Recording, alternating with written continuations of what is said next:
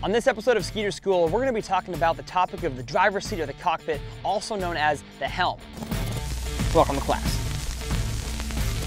Everything that you need to know as a Skeeter boat owner about your boat and your outboard engine's operations can be found here at the helm. And it's very important that you understand the names of all the gauges and dials and what they do for optimal performance and safety out on the water. So let's hop on the Skeeter and talk about it.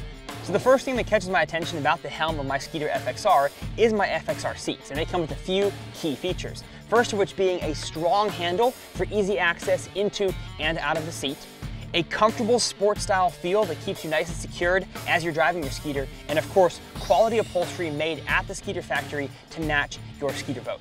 And when you are driving your Skeeter boat, there are a few things that are accessible by your hands as you're driving, the first of which being your comfortable adjustable steering wheel. And then these two things that I have right here are blinker trims, one for my hydraulic jack plate and one for my engine's trim and tilt. Not all Skeeters come with a hydraulic jack plate, but it's great to have easy access to these as I'm driving my Skeeter for optimal performance.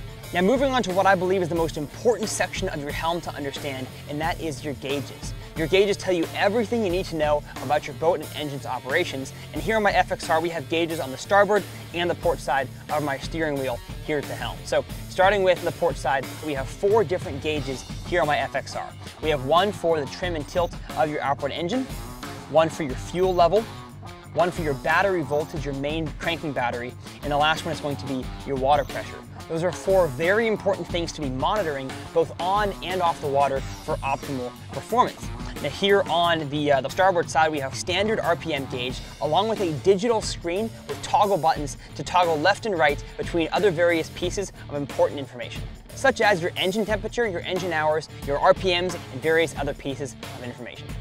Every Skeeter boat comes standard with one chart plotter here at the helm, also known by us fishermen as a fish finder. And not only does it help you find and catch more fish, it'll also allow you to know where you can and where you can't safely operate your boat. Now underneath the helm of my FXR are a few important features to be aware of. The first of which being the fuse box. The second feature is my sliding adjustable hot foot throttle control. Not every Skeeter boat comes standard with a hot foot, but my FXR does. And the last feature is an easy access hatch to get to all of the power cables and accessory wires underneath your helm. Now moving over here, we have our control panel. This is the main power panel that controls everything electrical that comes standard on your Skeeter boat. You know, here we have our power on and off switch, our horn, lights of various different kinds, bilge pump, and of course everything that has to do with your live wells from your filling to your aeration. And of course down here at the bottom, you cannot forget about your ignition. Now at the far side of the helm, we have a few more key features to be aware of. The first of which is of course a high quality Yamaha throttle control with kill switch. And beneath that, we have two important switches that come standard on my FXR. The first of which being a live well switch to open and close my live wells, and the other being my plug. Here on my FXR, it's great because I can sit here at the helm and still put in or take out my main boat plug right here at the helm. Now the last few features here at the helm of my FXR are an OxyMax switch. This switch is an oxygenator for the fish in the live well to keep them alive all day long.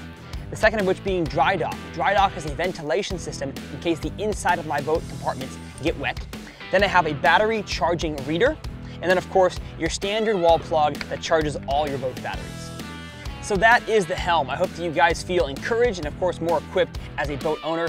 My name is Tyler Anderson and we'll see you guys on the next episode of Skeeter School.